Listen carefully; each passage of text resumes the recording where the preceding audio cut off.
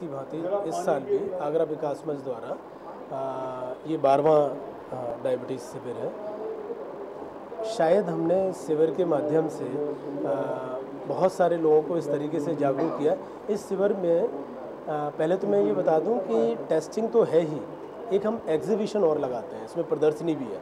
उस प्रदर्शनी के माध्यम से ये दर्शाया गया है उसमें कि कैसे डायबिटीज़ होती है, क्यों ट्रीटमेंट लें, आगे क्या इलाज करना है। अगर किसी को इंसुलिन लेना है तो कैसे लगाना है और डरना नहीं है। एक तो एग्जीबिशन हर वर्ष की भांति हम ये देख रहे हैं कि पहले हमें लोगों को शुगर के लिए ये कहना पड़ता था कि भाई आप ब्लड शुगर करा लीजिए।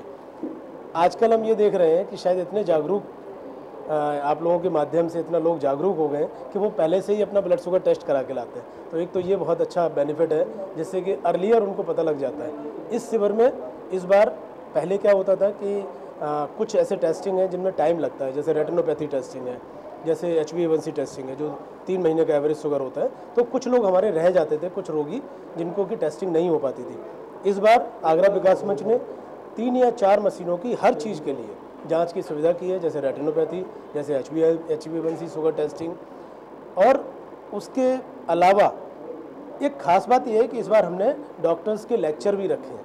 व्याख्यान जिससे कि हम बता सकें, उनको जागरूक कर सकें। क्यों? क्योंकि दुनिया भर में जिस तरीके से डायबिटीज़ हम इंडिया में नंबर वन होते जा रहे हैं और कहीं ना कहीं रोकना पड़ेगा। तो एक उसकी सीढ़ी है, एक उसका आपके द्वारा माध्यम है कि हम इसको कैसे रोकें और आगे कैसे बचें।